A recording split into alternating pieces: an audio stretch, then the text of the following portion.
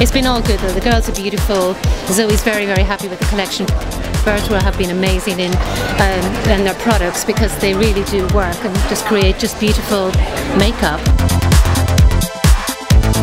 The look is all about effortless feminine beauty teamed with a graphic eyeliner. The skin was kept real using the Healthy Mix foundation and concealer only needed for tiredness under the eye or some blemishes.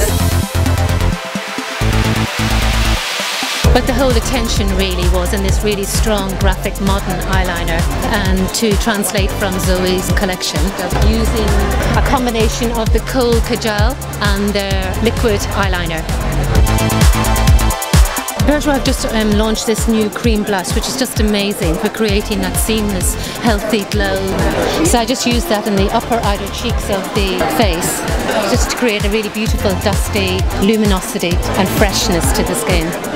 The lips were kept natural and I used some of the Rouge Edition in 01 just to give a really beautiful healthy sheen. I just also used one layer of their fantastic volume mascara just to kind of give a final polish to the eyes.